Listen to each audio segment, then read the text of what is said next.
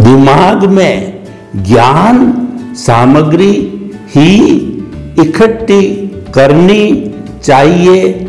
हर तरह की सामग्री इकट्ठी करने से कूड़ादान बन जाएगा।